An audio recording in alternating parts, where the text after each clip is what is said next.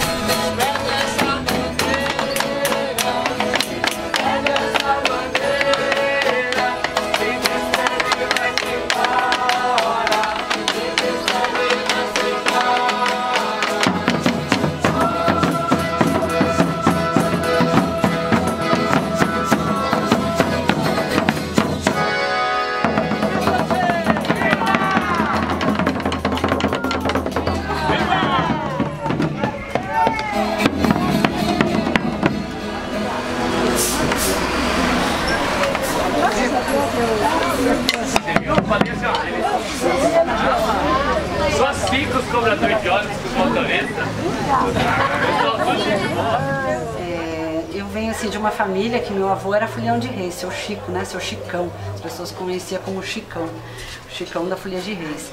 E sempre, toda a vida morou na Vila Maria, né? Então, o pessoal que veio de Minas Gerais, os migrantes, né? Conforme muita história semelhante aqui em São José dos Campos, as pessoas vêm de outros estados para trabalhar, ele veio para trabalhar no CTA e toda a vida vinha aí e fazia a, a folia de reis, né? Tinha a bandeira dele, saía sempre uns cinco, seis senhores mais velhinhos, é um outro estilo de folia de reis, né? A gente chama até de, é um estilo mais paulista, né? Junta assim, aqueles só eles cantando e uma bandeira. E aí faleceu a vovó, depois faleceu ele, e quando ele faleceu, assim, era um desejo, ele já tinha recebido a nossa folia de reis, porque ele queria muito que a gente desse continuidade.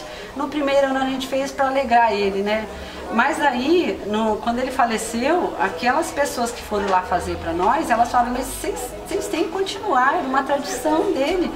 E vamos, a gente ajuda. Eu falei, só nós só, sozinhos assim de família, pouquinho, né? Se viesse os amigos, daí é capaz que a gente então é, fizesse. Não é muito da nossa cultura, minha, minha geração, né? Mas daí minha tia, que cantava de Verônica também, falou assim, a tia Célia sempre cantou de Verônica, também morar na, na Vila Maria, hoje é uma assistente social, né? Trabalha na Vila dos Idosos. Aí ela falava, ô, oh, vamos, vamos, continua aí, que isso é uma tradição que não pode morrer. Aí juntamos amigos, os amigos também deram muita força e começamos a fazer, mas na verdade assim, a gente se considera mesmo um grupo de devoção, a gente tem devoção ao Menino Jesus, a gente já viu essa a bandeira assim, fazer milagres, né, o Menino Jesus fazer milagre mesmo, é verdadeiro isso que eu estou falando, né, uma senhora em, na Vila Maria, assim, que ela, ela diz que ela foi curada do câncer pela visita do Menino Jesus, do Santo Reis, isso nos emociona, cada um que passou por uma situação difícil também no grupo, foi vendo isso modificar a sua vida. Então tem gente de todo lado, tem senhoras que foram agregando na sua memória, tem um ou outro artista que já era nosso amigo, que tocava com a gente, resolveu vir fazer. A gente acha que é meio um processo de evangelização daqueles que estavam assim meio desgarrados, né?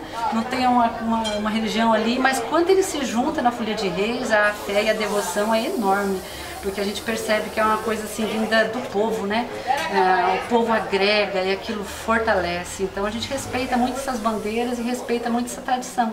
A gente começa geralmente na primeira, segunda semana de dezembro e vai até dia 6 de janeiro, quando a gente faz uma festa. Meu pai sempre oferece um almoço né, na, na, casa dele, os fulhões se reúnem lá. Algumas igrejas também convidam a gente. No começo ele não sabia se ia, se não ia, mas daí a gente começou a vir para o lado mais simples, ó, a gente pode, então vamos. Então a gente não ficou mais assim, pensando se pode ir na igreja, se não pode ir na igreja. A gente já foi em vários lugares, né? A gente não costuma ir, não tem venda. A gente faz tudo isso é gratuito, porque como tem alguns artistas no grupo, pode ter aquela memória, né, que é um espetáculo artístico, mas não é um espetáculo artístico. A gente já chegou a aceitar convite, sim, de um ou outro é, estabelecimento de cultura. Uma vez nós fomos num Sesc, né, mas era um encontro de vários músicos, eles convidaram a Folha de Reis para fechar. Então nós entendemos que estava no nosso ciclo, a gente só sai no nosso ciclo. Se chamar a gente em junho, a gente fala, mas nós não somos uma folia do divino, nós somos uma folia de reis, então a gente não costuma sair fora do nosso ciclo, então não é um espetáculo, a gente só sai nesse período, as pessoas esperam esse período para a gente sair. A última pergunta. É, aqui vai ter um almoço. Vocês são tão bem recebidos em todas as casas que vocês vão? Somos.